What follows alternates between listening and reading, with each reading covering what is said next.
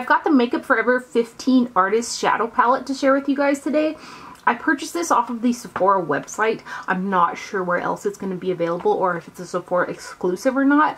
But um, this has got 15 of the Makeup Forever Artist shadows in it and each shadow is 0.06 ounces a piece. The entire palette was $59 and a single Makeup Forever Artist eyeshadow is $21 and it's it's only 0.01 ounce more like the full size singles are 0.07 ounce so this is a really good deal for the money. Inside the box it does come with a little pamphlet with some looks inside and a little bit of detail about the palette and then here's the actual palette. It's really pretty. This outside has kind of got a glitter feel to it but it's not glitter that's going to fall off on your hands so it's it's quite nice and the cardboard is um, substantial. It's like the cardboard from the Artist 1 and the Artist 2 palettes. It's a really nice substantial cardboard packaging. It's got a nice weight to it. And you do have a mirror inside of there. It doesn't prop itself up, so you'd have to hold it if you were to use it. And then inside of here are your eyeshadows. Now, I'd gotten quite a bit of inquiry when I posted a picture of this on Instagram, um, which ones were repeat shades and stuff from older palettes like the Artist 1, the Artist 2, last year's Christmas palette, and then the May Makeup Forever uh, Fifty Shades of Grey set. So I'm going to go ahead and tell you what I come up with for repeats out of those sets and then like show you side-by-side -side comparisons as well. I did do a look with these shadows which is what is on my eyes right now and it'll be towards the end of the video if you want to see kind of how these perform for me. But I absolutely love the artist formula. Um, I've used all the finishes and I love them all. I did have minimal fallout. Um, I'm not sure which shade was the culprit because it was when I was blending where I got a tiny bit of fallout but it wasn't terrible at all and it brushed right off my face. And these shadows, they just continually build and blend and build and blend and they're highly pigmented. They're just a really, really great shadow. Um, one thing I will no note um, that I've mentioned in the past is the shadows can do some type of pilling where when you put your brush in there that kind of, because of the formulation of these, there's so much primer type ingredients in here like dimethicone silicones and stuff like that, that it can kind of pill and stick to each, stick to itself where the only way that I find that to be a problem is when I'm picking up product, but it doesn't ever hinder the performance of the actual eyeshadows on the eye. Um, so I still, I just look past any pilling that I get on a couple of these shadows because I love how they perform so much. This particular palette does not have any of the matte finishes in it. They're all satin, metallic, diamond, or iridescent finishes in here, which is what the M, M, E, S, I, and D stand for. Another thing I really like about this particular formula is you could take um, a really dark color and you can fade it into a really light color and create a mid-tone color. They blend together so nice. So I went ahead and zoomed in here and I'm going to read off these shades to you guys. This one is I550, this one's I524, I916, D236, S102, and you've got S522, D826, D830, S228, S114, I528, I662, I922, ME216 and ME122. Um, the shades in here that are repeat shades from last year's holiday set where they were little tiny, the little tiny shadows that kind of came in that uh, case our I-524, which is um, this guy right here. This is I-524, which is a repeat from the holiday set. D236, which is this shade right here. ME122, which is this guy down here. And then the last repeat from last year's holiday set is D826, which is this guy right here is a repeat from last year's holiday set. I just have the little ones in this palette over here. So those are the repeats from last year's holiday palette. I didn't find any repeats from the quad that came in the Fifty Shades of Grey set. I didn't find any repeats that came in the Makeup Forever Artist 2 set, but I did find two shadows that are repeats from the Artist 1, and that's I-528, which would be this one right here, and S102, which is this one up here. So this one and that one are both repeats from the Artist 1 set. So here's the Artist 1, the smaller one, and then here's your newer one. So two repeats between those two right there. And then if you guys can see the um, numbers on there, here's the artist 1 and here's the 15 artist palette. And then here's the 15 artist palette next to the artist 2 set from Makeup Forever. And I didn't find any repeats between these two palettes. Those purples are awfully similar, but one is 924 and the other is 922. so, so there's the shades, the 15 shades on top, and then the um, artist 2 on the bottom. Hopefully I got that all correct, but if not, hopefully you can see it. now let me go ahead and give you guys swatches by three. Again, there are no mattes in this palette. These are just, I love, I love these shadows. I just love them.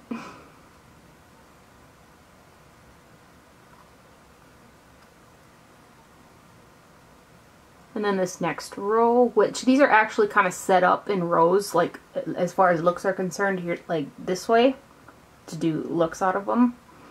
But here's that row.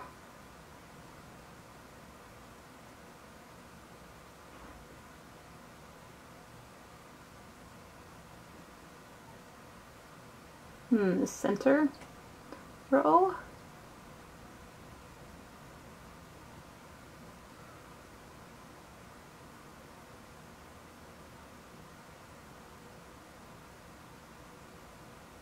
These pretty blues.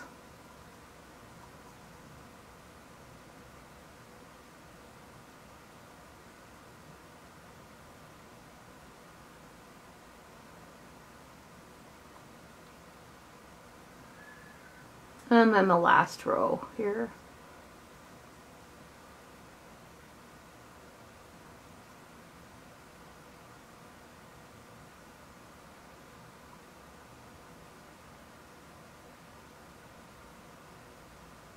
This is one of my top palettes for the holiday season. Um, as far as the price is concerned and the amount of product that you're getting, this is a heck of a deal for your money. I've had, I've always had really good luck with the new Makeup Forever artist folder. I suppose they're not new now, but the artist shadows, they're some of my favorite shadows out there. They continuously blend and build. They fade out pretty. They're just a nice, nice eyeshadow. And this is totally on par with the quality of the singles as well. Um, again, it's a, it's a good thing too that there's only two repeats in here from the artist one and two palettes. So if you have either the artist one or two, you're going to get two repeats from the neutral palette in here, which I mean, still, it's still a good value for your money. So if you're interested in seeing how these eyeshadows performed and the look that's on my eyes right now, you can hang tight and we will get into it right now.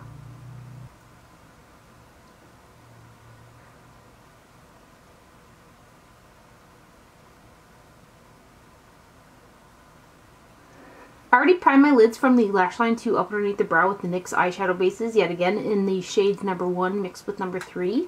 Using a gloss number 18 brush, which is a flat shader, I'm going to dip into this shade right here, which is called I662. I'm going to pack that on the lid. I'm like always drawn to the, the burgundy looking portion right away, probably because it's kind of getting chilly out. I'm going to pack this on the lid.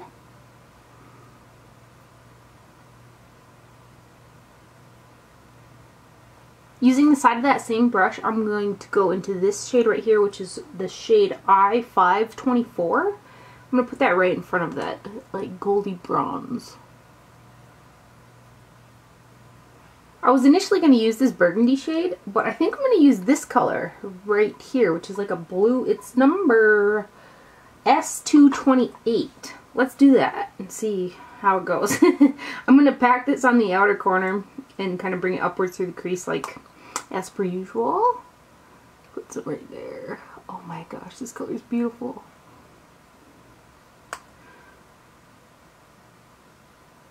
That does not, that is much prettier on than it looks in here.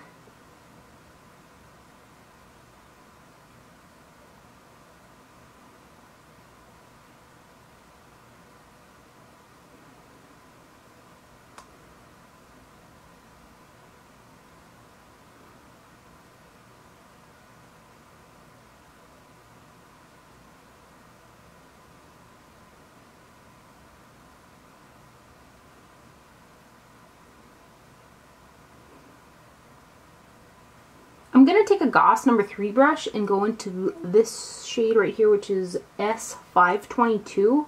I'm going to put that in the um, space where there's no shadow yet, um, underneath the brow.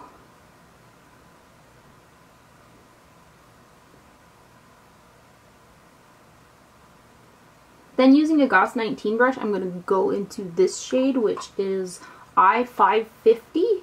And I'm going to put this in the crease. I kind of wish that this was matte, but there aren't actually any matte shades in this palette, so we'll just go with it.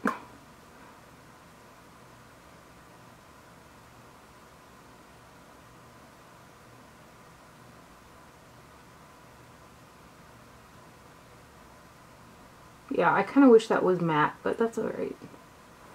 And then blend this with the three up here.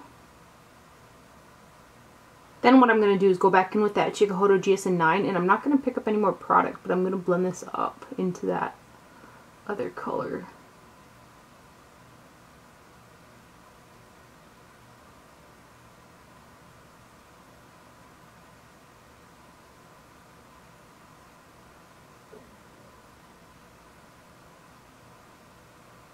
I've got just a little bit of fallout here.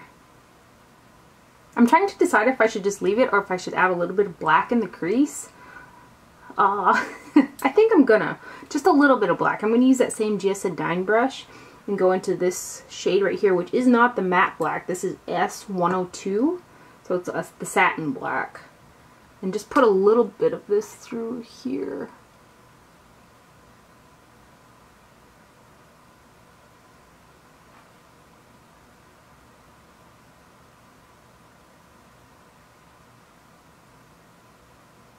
There's the eyeshadow done. I, I love it. I love the Makeup Forever eyeshadows. I'm going to go ahead and finish up my brows and liner and mascara and I'll be back to put on some lips for you guys. For lips I've got Charlotte Tilbury's Lip Cheat in the shade Pink Venus. I really can't get enough of these Charlotte Tilbury lip liners. I'm going to go ahead and line it and kind of fade it in.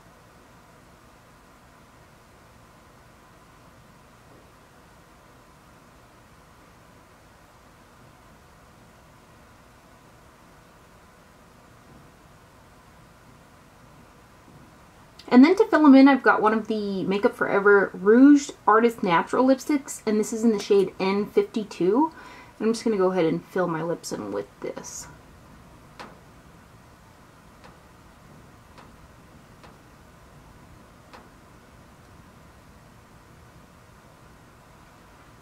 So there's the overall finished look using the Makeup Forever 15 artist shadow palette. um, I really enjoy how this turned out. It was pretty easy to create as well. So I hope you guys enjoyed this video and found it helpful. Thank you for watching. Do not forget to wear sunscreen and I'll see you guys later. Bye.